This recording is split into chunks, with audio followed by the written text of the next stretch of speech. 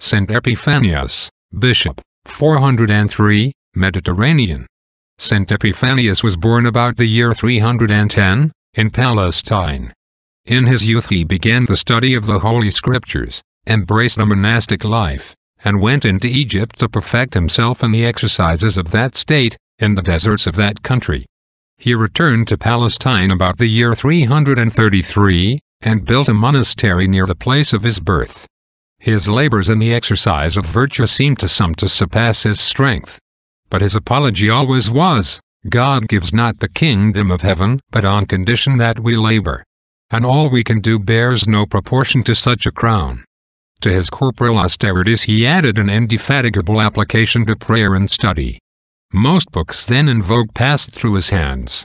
And he improved himself very much in learning by his travels into many parts.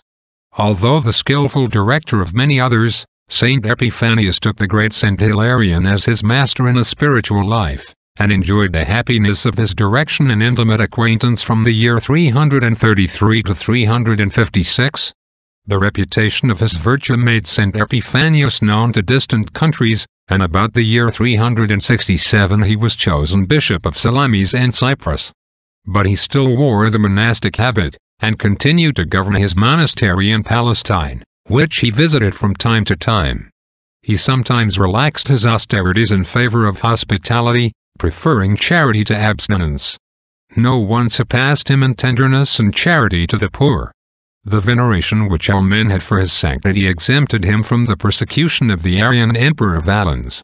In 376 he undertook a journey to Antioch in the hope of converting Vitalis, the Apollinarist bishop and in 382 he accompanied St. Paulinus from that city to Rome, where they lodged at the house of St. Paula.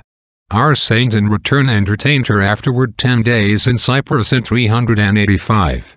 The very name of an error in faith, or the shadow of danger of evil, affrighted him, and the saint fell into some mistakes on certain occasions, which proceeded from zeal and simplicity.